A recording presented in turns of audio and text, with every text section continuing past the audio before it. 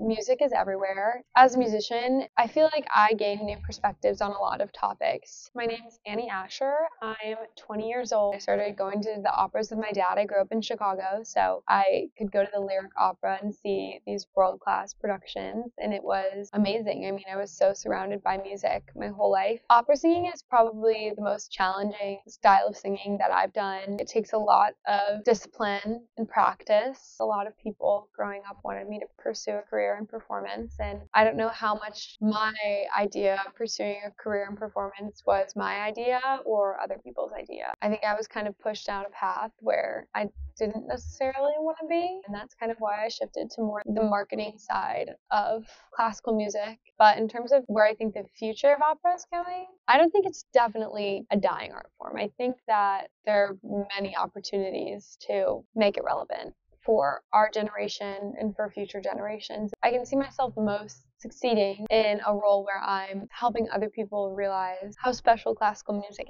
is and how much of a benefit it is to our society.